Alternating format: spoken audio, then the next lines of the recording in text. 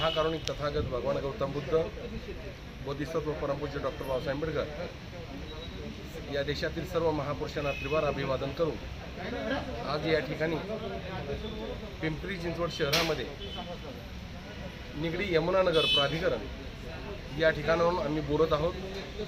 धम्मदीप बुद्धविहार संचलित डॉक्टर बाबासाहेब आंबेडकर विचार संवर्धन मंच चॅरिटेबल चा मी एक कार्याध्यक्ष मिलिंद कुमार रणदिवे धम्ममित्र मिलिंद कुमार रणदिवे आपणास जाहीर अपील करतो की सोळा सहा दोन हजार वीस रोजी यमुनानगरमध्ये अस्तित्वात असणारं धम्मदीप बुद्धविहार या ठिकाणी एक सुरक्षा रक्षक म्हणून आम्ही त्यांना काही वर्षापूर्वी या ठिकाणी सुरक्षा रक्षक म्हणून ठेवलेलं होतं. परंतु त्या धम्मदीप बुद्ध बुद्धविहारात एक माणुसकीच्या दृष्टिकोनातून आम्ही त्यांना आसरा दिला आणि त्या आसऱ्याचा गैरफायदा त्यांनी या ठिकाणी घेतला गेला. कारण बौद्ध धर्मामध्ये माणसानं माणसाशी कसं वागावं हे शिकवलं जातं. त्या ठिकाणी मनुष्य प्राणी कसा घडला जावा हे त्या ठिकाणी शिकवलं जातं. आणि त्या ठिकाणी बौद्ध धर्माच्या परंपरेनुसार पद्धतीनुसार सुरा पंचशिलेमध्ये सांगितलेलं आहे की सुरा मेरय मज्ज पमाद ठाणा वीरमणी सिक्का बदन समाधान. म्हणजे स्वतःही दारू प्यायचं नाही आणि इतरांनी दारू द्यायचं नाही.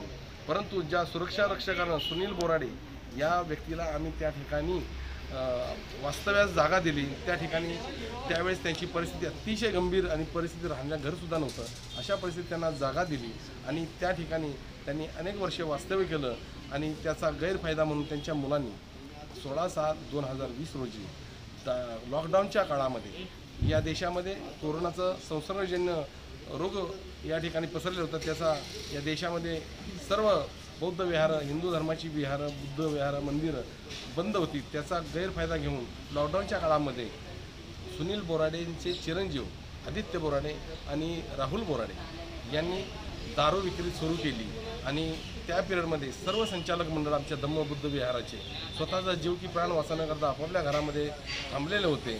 सरकारच्या आदेशाचं पालन करून बुद्ध विहाराला आम्ही लॉक लावल्यामुळं ती व्यक्ती सर्व कुटुंबासहित तिथं राहत असताना त्या सर्व संचालकांच्या गैरहजेरीचा गैरफायदा घेऊन त्या ठिकाणी अवैधपणे मद्यसाठा केला आणि त्या ठिकाणी मद्यसाठांमध्ये विक्री केली आणि सर्व या बुद्ध विहाराचं पावित्र्य भंग पावलं गेलं. त्यामुळं आमच्या सर्व या बौद्ध विहारातील संचालक मंडळाचं आणि रहिवाशांच्या बौद्ध विहार म्हणजे या यमुनानगरमधील सर्व रहिवाशांच्या भावना दुखावल्या गेल्या मी महाराष्ट्रातील तमाम बौद्ध बांधवांना पिंपरी चिंचवडमध्ये सर्व बौद्ध बांधवांना धार्मिक सामाजिक शैक्षणिक व राजकीय क्षेत्रातील मान्यवरांना विनंती करतो की आमच्यावर हा प्रसंग आलेला आहे की राहा बुद्ध विहारात राहणारी व्यक्ती अतिशय घाणेरड्या पद्धती अर्वाच्य भाषेमध्ये बोलते संचालक मंडळाला दमदाटी करते बुद्ध विहारात आपल्या भावना व्यक्त करण्याकरता येणाऱ्या जाणाऱ्या या सर्व बौद्ध धर्मियांना ती अर्वाच्य भाषेत देऊन शिवेगाळा करून परावृत्त करते.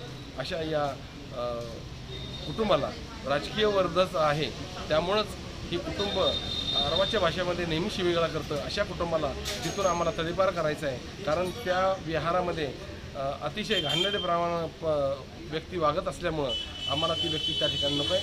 म्हणून मी तमाम पिंपरी चिंचवडमधील बौद्ध विहारातील सर्व सेक्रेटरी अध्यक्ष खजिनदार सर्व कमिटी मेंबर पिंपरी चिंचवडमधील सर्व राजकीय व्यक्तींना मंडळांना मी विनंती करतो की या ठिकाणी आपण सामाजिक आंदोलन करू नये आपण आपल्या धर्माची एकी दाखवूया. आणि त्या विहारात जो घाणेरडा प्रकार झालेला आहे त्यासाठी आम्हाला आमच्या संघटनेला आमच्या बौद्ध विचार संवर्धन चॅरिटेबल ट्रस्टला आपण मदत करावी ही नम्र विनंती करतो. तुम्हाला जी घटना जी घडली होती अवैध धंद्याची ती कशी कळली तुम्हाला? आम्हाला ते अवैध धंदा म्हणजे करत होते म्हणजे दारू विक्री करत होते हे तुम्हाला कळलं कसं? काही मंडळींना जे विभागामध्ये राहतात ज्यांच्या परिचय आहेत त्या लोकांनी आम्हाला अगोदर सांगितलं. त्या त्या पद्धतीनं मग आम्ही पोलीस स्टेशनमध्ये काही जे जागरूक बौद्ध धर्मीय लोक आहेत ते येता जाता संध्याकाळी वॉकिंग करत असताना त्यांना ते सापडलं गेलं. तर त्यांनी त्याची पाळत ठेवून त्या माणसावरती नजर ठेवली आणि पोलिसात तक्रार केली.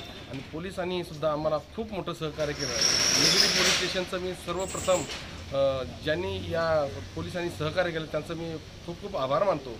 कारण पोलिसांनी एवढी मोठी धाड टाकून त्या माणसाला रंग्यात पकडलं आणि अटकहीसुद्धा केली. आता त्यांना जामिनावर सोडण्यात आलेला आहे. परंतु अशा प्रवृत्तींना आपल्या या विहारातून हाकलून लावण्याकरता आपण सर्व बौद्ध बांधवांनी आम्हाला मदत करावी ही विनंती.